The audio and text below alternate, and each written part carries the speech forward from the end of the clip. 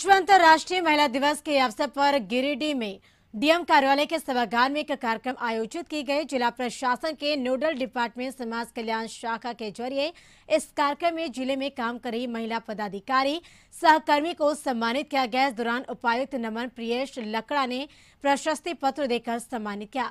इस मौके पर उपायुक्त ने महिला सहकर्मी को धन्यवाद देते हुए कहा कि इस तरह अच्छे कार्य करने के, करने से जिला प्रशासन को मजबूती मिलती है। आज विश्व अंतर्राष्ट्रीय महिला दिवस है और इसके अवसर पर हमारे यहाँ समानालय सभागार में। हमारे गिरिडीह जिला प्रशासन में जितनी भी महिला हमारे सहकर्मी हैं चाहे वो पदाधिकारी हो, चाहे किसी भी विभाग या शाखा में कार्यरत कर्मी है, सभी महिला सहकर्मियों को यह एक आग्रह किया है कि